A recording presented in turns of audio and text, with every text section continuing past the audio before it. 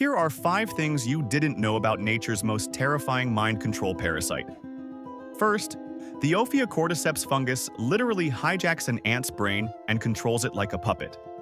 The infected ant becomes a zombie, no longer in control of its own body.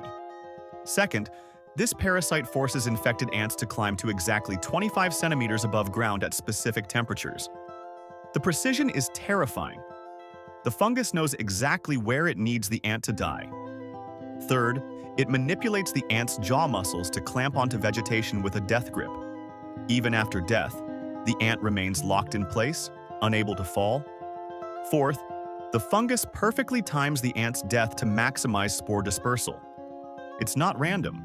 Every step is calculated for maximum infection spread.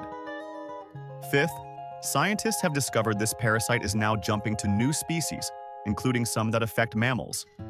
Even worse, they've found hundreds of similar fungi species actively evolving to control new hosts. Nature's puppet master is getting stronger.